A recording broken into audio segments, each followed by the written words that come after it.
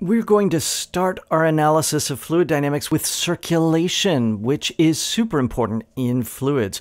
Recall the circulation along a loop gamma is a quantity c sub gamma that is given by integrating the velocity one form alpha sub v over this loop.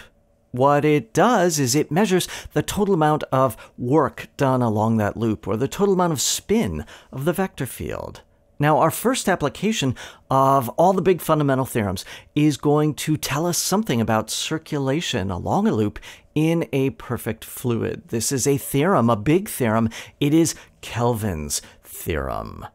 Kelvin's theorem says that if you've got a perfect incompressible fluid, then the circulation along a loop gamma that is evolving over time with the fluid is fixed. It does not change, it is constant.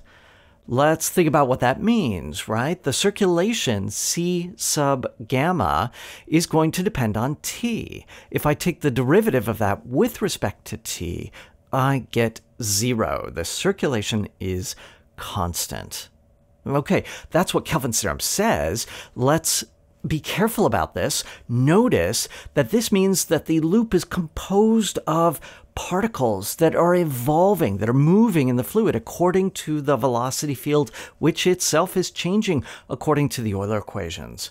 And what this means physically is that as this loop of fluid is shrinking or stretching or evolving, the velocity field along that loop is changing in order to compensate, in order to make the net spin about that loop constant and unchanging.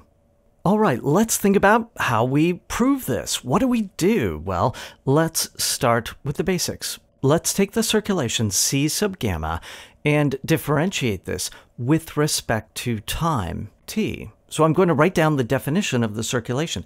This is the integral over gamma of t of alpha sub v, the velocity one form for the fluid. Now, what I've got to do is pull that derivative into the integral sign. And that's the tricky part because what I get is the material derivative of alpha sub v. Because everything is changing over time, I have to take that material derivative. Now, that's the part that you should probably go and check carefully by writing out all the components, but I'm just going to tell you that that is the appropriate way to pull the derivative inside the integral. Now, what do we do? We use the Euler equations to say that that material derivative is minus dh.